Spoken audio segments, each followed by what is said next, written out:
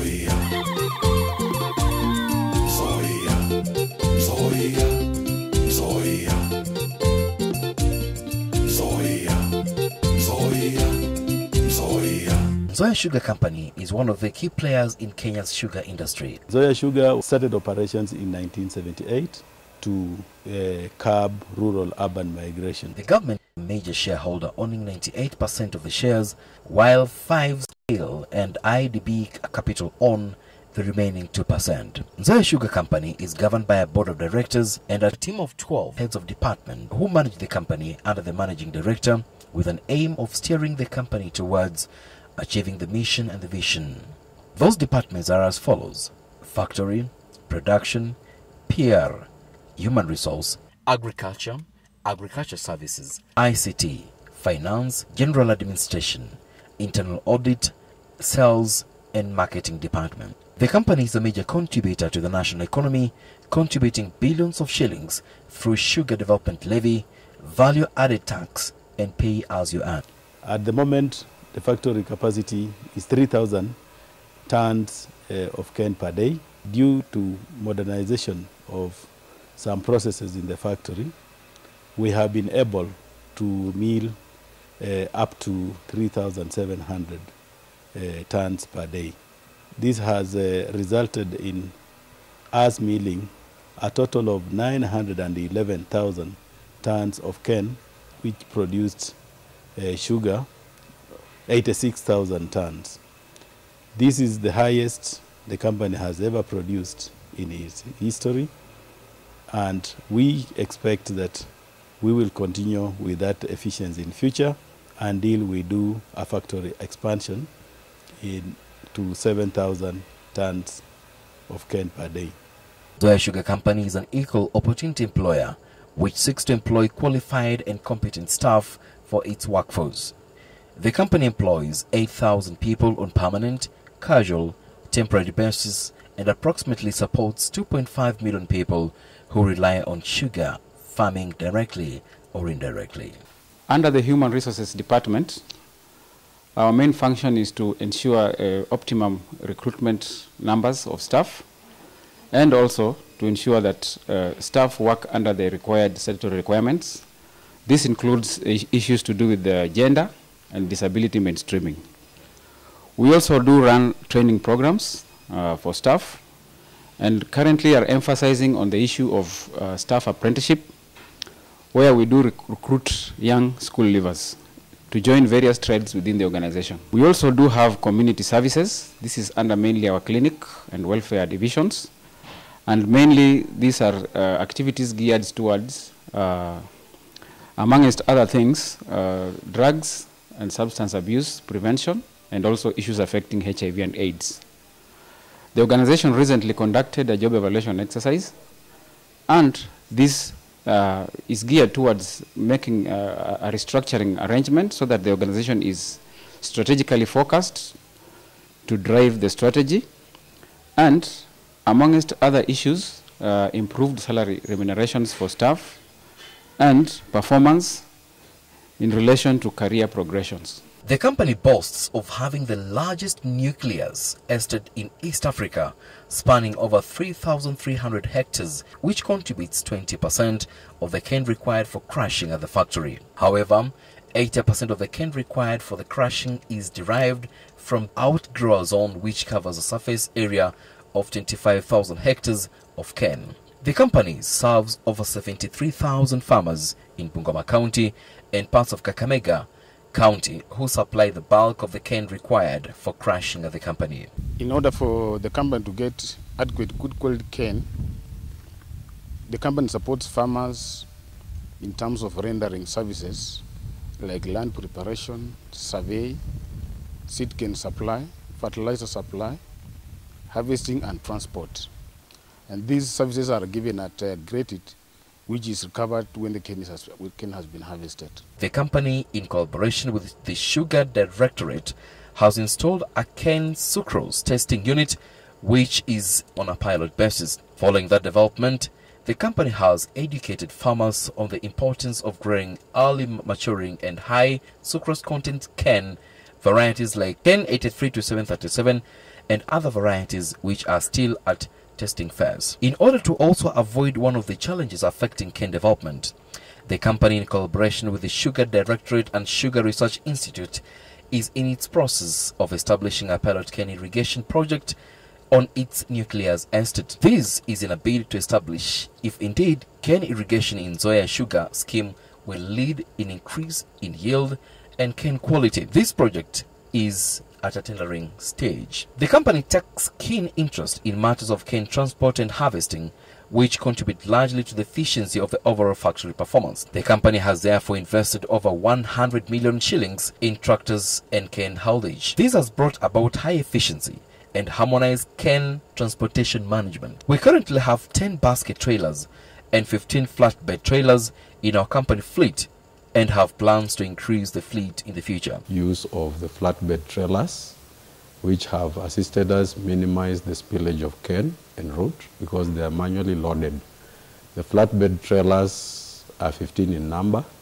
They are also uh, uh, together with the basket trailers, which are 10 in number. Total, we have 25 units which the company is using to support the cane transport together with the contracted transport, by which is giving us 80% of the total cane delivery.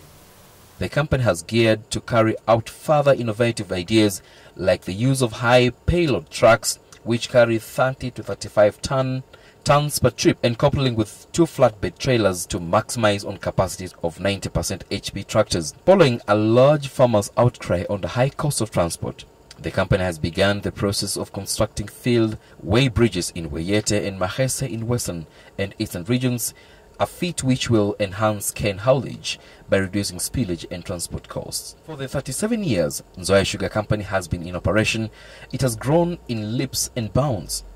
In order to increase the overall efficiency and of company operation in general, the company has engaged in rigorous modernization programs to enhance productivity in various levels of operation. factory has been relying on a 3 megawatt uh, turbine for power supply.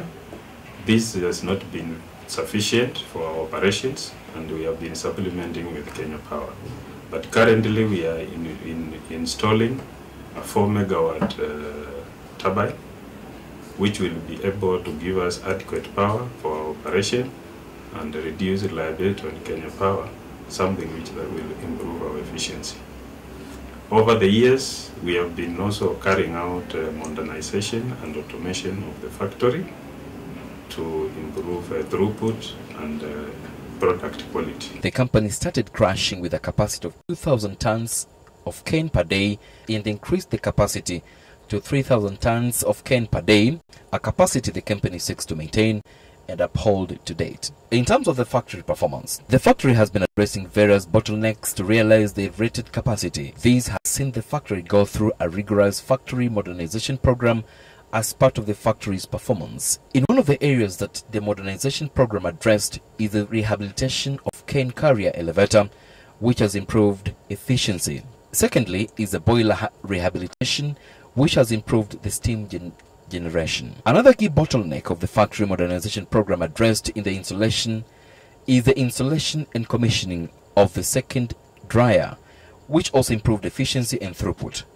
Finally, the installation of the commissioning of the spray pond system improved vacuum, throughput, and sugar quality. These improvements have enabled the company to achieve and sustain the rated capacity of 3000 TCD production of quality products, high level of efficiency, and increased throughput, contributing to competitive cost of production. We are also installing a syrup clarifier. This is mainly meant to enable us produce white sugar because at the moment we are only producing brown sugar. So once the syrup clarifier starts operating, we'll be having two brands, mill white sugar and uh, brown sugar. We are also intending to introduce or to procure a system called mud decanter. This is going to help us in terms of recovery of sugar, the filters. That is a, we have planned to procure that. At the moment, we have also planned to to install, to procure and install a distillery that will be using our molasses. Nzoia upholds the culture of quality which is expressed in the production of high quality sugar. This is done through constant quality control checks of the sugar process which are constantly monitored to ensure that the key operating parameters are achieved and maintained. Some of those parameters are temperature, pH, pressure, vacuum, housekeeping and sanitation. This process ensures the sugar produced is as per the set international standards and fit for consumption. The future looks bright as the company plans to expand its capacity to 7,000 TCD, which diversified products best to include co-generation, ethanol production and water bottling. With such a product base, it will be possible to compete regionally as well as globally while ensuring good returns of sugar cane farmers. Nzoia sugar is produced and packaged in various sizes. Bulk packages of 50 kg, 25 kg, 10 kg and 5 kg and branded packages of 2 kg, 1 kg, half kg and a quarter kg. Basically, our aim is to be able to meet each and every person in the society, those who are buying small quantities. And we've been able to develop a strong partnership with a number of uh, customers across the country.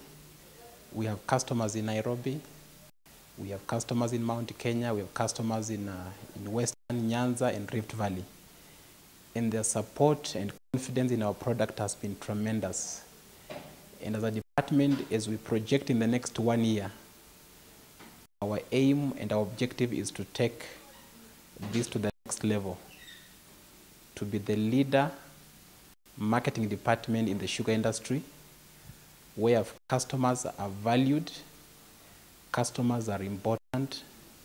We have an open system where they can give us feedback, they can interact with us on every aspect. To be able to enhance our market share on branded sugar, we, we've done a huge investment.